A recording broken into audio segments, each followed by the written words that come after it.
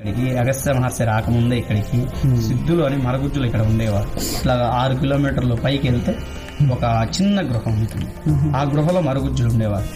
Okay. ఈ దారిలో వెళ్తే ముందుగా మనకి చెంచులక్ష్మి కేవ్ తగిలిద్ది. తప్పకుండానే అలాగ వచ్చేసాము. ఒక చోట అయితే దారి తప్పామనుకున్నాం కానీ షార్ట్ కట్లో వచ్చేసేసాము అడవిలో ఎక్సలెంట్గా మంచి తీరని అనుభూతిని మిగిల్చింది. ఇది మనం హండ్రెడ్ స్టెప్స్ ఉన్నాయి.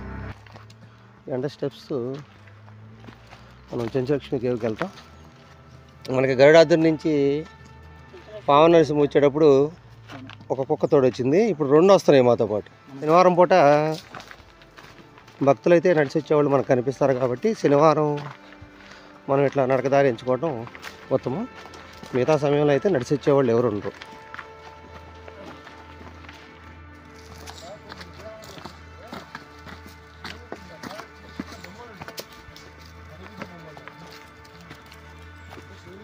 ఇక్కడ ఏదో తవ్వి పెట్టారు ముందుగానే?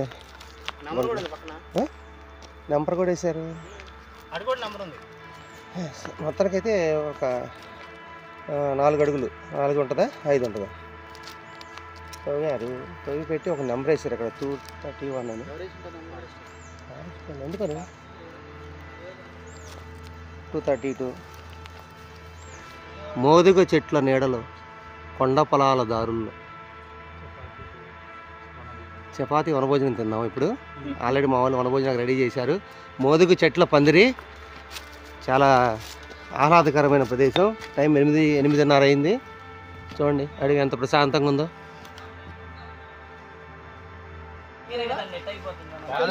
పాకిస్తాన్ క్యారిడార్లో ఉన్నటువంటి సరస్వతి టెంపుల్ ఈ రోజు సర్వనాశనం అయిపోయింది. ఇక్కడ చాలా ఎత్తైన చెట్లు ఉన్నాయి. సన్నగా దారి కూడా చాలా బాగుంది. దాదాపు ఒక నాలుగు కిలోమీటర్లు వచ్చాం ఇంకా మూడు కిలోమీటర్లు ప్రయాణం చేస్తే ఎగువ హోబిలం చేరుకుంటాం. అసలు ఒప్పుకుంది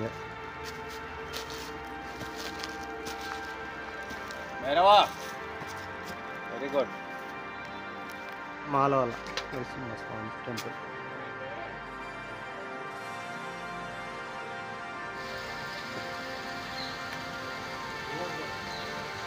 ఇదిగోండి ఇక్కడ పావన నరసింహకి స్వామివారి సన్నిధికి దారి ఏడు కిలోమీటర్ల బోర్డు ఉంది గోహోబిలం నుండి మనం ఈ దారిలో ప్రయాణం చేయాలి. ఈ ఆర్చి గుర్తుపెట్టుకోండి. ఈ ఆర్చి మెట్ల మార్గం. ఇక్కడి నుంచి ఏడు కిలోమీటర్లు?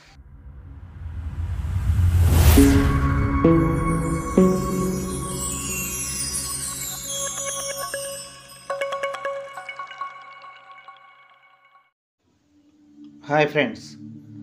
గత వీడియోలో మనం పుట్టుపాపల గురించి తెలుసుకున్నాం. మెకంజీ తాను రికార్డు చేసిన ముత్యాలపాడు సంస్థానం రికార్డుల ప్రకారం పదిహేడు వందల ఎనభై పదిహేడు వందల తొంభై సంవత్సరాల మధ్య ఆంధ్రప్రదేశ్లోని పూర్వపు కర్నూలు జిల్లాలో అహోబిలం చాగలమర్రి పట్టణాల మధ్య ఉన్న ముత్యాలపాడు సంస్థానంలో సేకరించిన కైఫియత్. దీని ప్రకారం ఈ పర్వతమందు పుట్టుపాపులు అనే మనుషులు ఒకటిన్నర గజం పొడుగువారు ఈ కొండవడిలో నివాసం ఉంటారు. వారిలో స్త్రీ పురుషులు ఇద్దరూ ఎటువంటి వస్త్రాలు లేకుండానే ఉంటారు. వీరు జంతువులను వేటాడి పచ్చిమాంసం ఫలాలు తేనె అడవిలో దొరికే వివిధ రకాల దుంపలను ఆహారంగా తీసుకుంటారు. వీరు మనుషులను హఠాత్తుగా చూస్తే కనపడకుండా అడవి లోపలకు పారిపోయేవారు. అప్పుడప్పుడు వీరు అడవిలో ఉండే చెంచులకు కనపడేవారు. అయితే ఈ పుట్టుపాపలు తప్పిపోయిన మన పూర్వజాతికి చెందినవారా? వీరు విడిగా పరిణామం చెందారా? పాలియో ఆంథ్రోపాలజిస్టులు ప్రస్తుతం మానవ పరిణామంలో కనపడకుండా పోయిన పురామానవ జాతుల కోసం విస్తృతంగా అన్వేషిస్తున్నారు. జన్యు అధ్యయనాలు పురావస్తు ఆధారాలు మానవుడి జన్యు నిర్మాణంలో నేడు కనిపించే ఆనవాళ్ళు గడిచిన కాలాల్లో పురామానవ జాతుల మధ్య మిశ్రమ సంతానోత్పత్తికి దారితీసిందా? హోమో ఎరెక్టస్ నియాండార్తల్ మరియు భౌతికంగా ఆధునికుడైన మానవ జాతులలో ఒకే కాల పంచుకున్న ఒక అజ్ఞాతవాసి ఆసియా దక్షిణ ప్రాంతాల జనాభాలోని జన్నువుల్లో కనిపిస్తున్నారు. హిందూ మహాసముద్రంలోని ఫ్లోరెస్ మరియు లూజోన్ ద్వీపాల్లో దొరికిన పురామానవ అవశేషాలు శాస్త్రవేత్తలకు మరికొన్ని ప్రశ్నలను విసిరాయి. ముఖ్యంగా ఇండోనేషియాలోని తూర్పు తెంగారా ద్వీపంలో లియాంగ్ బువా గుహలో మన పుట్టుపాపలను పోలిన మరగుజ్జు మనిషి అవశేషం ఒకటి దొరికింది. పురావస్తు శాస్త్రవేత్తల బృందం ఈ కొత్త జాతికి హోమోఫ్లోరోసిన్సిస్ అనే పేరు పెట్టారు. ఈ జాతి ప్రజలు కూడా తమ పూర్వజాతి నుంచి విడిపోయి వేరే విధంగా పరిణామం చెందారు. ఈ శరీర పరిణామానికి కారణం వీరు నివసించే ద్వీపమే. ఈ సిద్ధాంతాన్ని ఐలాండ్ డ్వార్ఫిజం లేదా ఇన్సులర్ డార్ఫిజం అని పిలుస్తారు. అయితే వీరు పూర్వీకుల జాతి ఎవరు అనే దానిపై ఏకాభిప్రాయం లేదు.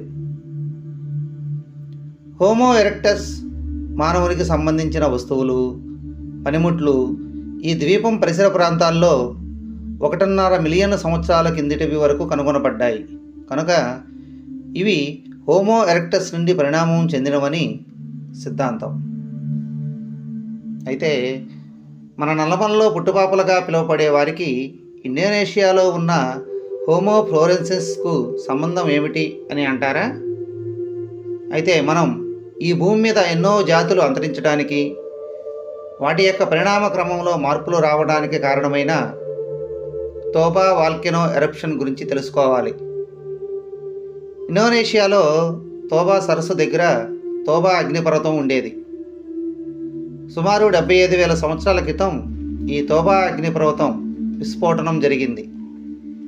దీనివలన ఆరు వందల యాభై గణపు మైళ్ళ శిలాద్రవం వెదజల్లబడింది. ఇంతవరకు జరిగిన భారీ అగ్నిపర్వత విస్ఫోటనాల్లో ఇది ఒకటైనందున దీనిని తోబా విపత్తుగా పిలుస్తారు. తోబా విస్ఫోటనం వల్ల ఆకాశంలో ఎగజమ్మబడిన బూడిద ఒక పొరలాగా ఏర్పడి ఉండటం వల్ల భూమి మీద ఆరు నుండి పది సంవత్సరాల పాటు ఉష్ణోగ్రతలు గణనీయంగా తగ్గాయి. దీనినే వాల్కనిక్ వింటర్ అంటారు. దీనివల్ల సుమారు వెయ్యి సంవత్సరాల పాటు భూమి మంచుతో కప్పబడింది. దీనివల్ల అనేక జీవరాశులు జలవనరులు అంతరించిపోయాయి. దీనినే పాపులేషన్ బాటిల్ నెక్ అని అంటారు. తోబా విస్ఫోటనం వల్ల దక్షిణ ఆసియా మొత్తం పదిహేను సెంటీమీటర్ల మందంతో మంచుతో కప్పబడింది. దీనితో ఈ ప్రాంతంలో చాలా జాతులు అంతరించాయి. ఆదిమ మానవులు మూడు వేలు నుండి పదివేలు వరకు మాత్రమే తమ ప్రాణాలు కాపాడుకున్నారని శాస్త్రవేత్తలు చెబుతున్నారు. ఇప్పటి మనుషులందరికీ ఆ కొద్దిమంది ఆది మానవులే పూర్వీకులు అని అంటారు. అయితే తోబా విస్ఫోటనానికి మన పుట్టుబాపులకు ఏమైనా సంబంధం ఉందా అంటే ఉందనే ఆధారాలు మనకు దొరికాయి. ఈ విస్ఫోటనం తర్వాత దాదాపు వెయ్యి సంవత్సరాల కాలం జీవులు పరిణామంలో ఎన్నో మార్పులు చేసుకున్నాయి. అలాంటిదే హోమో ఫ్లోరెన్సిస్ కథనం. అయితే ఇలాంటిదే మన దేశంలో ఆంధ్రప్రదేశ్లోని కర్నూలు జిల్లాలో జ్వాలాపురం అనే గ్రామంలో తోబా అగ్నిపర్వత బూడిద నిక్షేపాలు శాస్త్రవేత్తలు కనుగొన్నారు. జుర్రేరు లోయలో పేర్కొన్న ఇక్కడ భూమి పొరల్లో తోబా అగ్నిపర్వత కాలం కంటే ముందు నాటి మానవ ఆవాసాలు ఉండేవని ముందు అనుకున్నట్లు ఇక్కడ విపత్తు తర్వాత ఇక్కడి మానవాళి నాశనం కాలేదని తెలుస్తుంది. ఈ బూడిద పొరలకు ముందు వెనక కాలాల్లో దొరికిన ఆది మానవుల పనిముట్లు ఒకేలా ఉన్నాయి. శకలాలుగా దొరికిన పనిముట్లను జతచేసి చూస్తే అదే కాలంలో ఆఫ్రికా ఆదిమ మానవులు వాడిన పనిముట్లను పోలి ఉన్నాయి. ఇలాంటివి కర్ణాటకలోని మలప్రభ పరివాహక ప్రాంతంలోనూ కనిపించాయి. కానీ జ్వాలాపురంలో ఆనాటి మానవులకు సంబంధించిన ఎలాంటి ఆధారాలను అంటే కంకాళాలు ఎముకలు పుర్రిలు లాంటివి ఏమీ లభించలేదు. దానివల్ల మానవ పరిణామ క్రమంలో ఏ జాతి ప్రజల ఆవాసం ఉండేవారన్నది తెలుసుకోలేకపోయారు. ప్రస్తుతం మన జాతి హోమోసిఫియన్స్ మూలాలకు ఇండోనేషియాలోని ఫ్లోర్స్లో దొరికిన మరగుజ్జులకు మూలాలు ఒకటే అయినా మన జాతి అయిన హోమోసెఫియన్స్ ముందుకు సాగిపోయాయి. నిలిచిన ఈ మరగుజ్జుల ప్రయాణం అంతమైనది.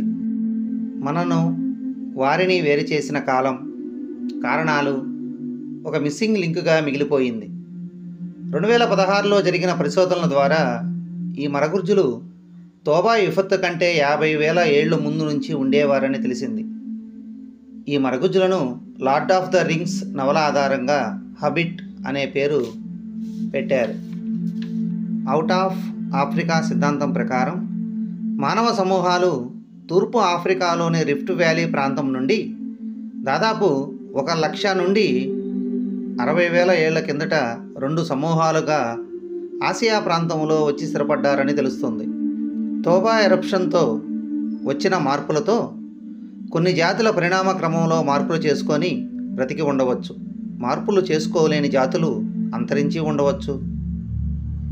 ఈ మరగుజ్జుల అదృశ్యం వెనకాల యుద్ధాలు నరమాంస భక్షణ మొదలైన కారణాలు ఉండవచ్చు. ఈ బూడిద రాశులు ఇతర ప్రాంతాల్లోనూ కనిపించాయి. ఉదాహరణకు కడప జిల్లాలోని పోరిమావిళ్ళకు సమీపంలో లింగమయ్య కొండ ఈ ప్రాంతంలో ఈ మధ్య కొన్ని కట్టడాల కోసం త్రవ్వుతుంటే చాలా మరగుజ్జు కంకాళాలు బయటపడ్డాయి. ఏది ఏమైనా మన నల్లమల హాబిట్స్ అదేనండి మన పుట్టుపాపల గురించి మూడు వందల సంవత్సరాల క్రితం కైఫియత్తులో ఉందంటే ఆశ్చర్యం కలగక మానదు. మన శాస్త్రవేత్తలు మరగుజ్జు పర్వతం గజ్జలకొండ గటిక సిద్ధేశ్వర ప్రాంతాల్లో పూర్తిగా పరిశోధనలు జరిపితే కానీ ఈ పుట్టుపాపల పుట్టుపూర్వోత్తరాలు తెలిసేలా లేదు. ధన్యవాదాలు.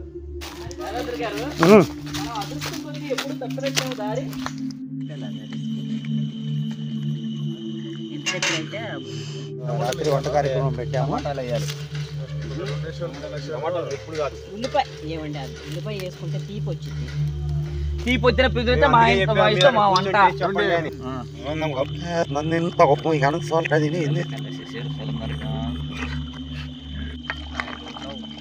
మనము చెంచుల సాహిత్యం ప్రకారం గరికెలు. గరికెలు అంటే గొర్రెలు అని అర్థం. అవి మూడు ఉంటాయి వరుసగా. దాన్ని బట్టి సమయాన్ని చెప్తారు.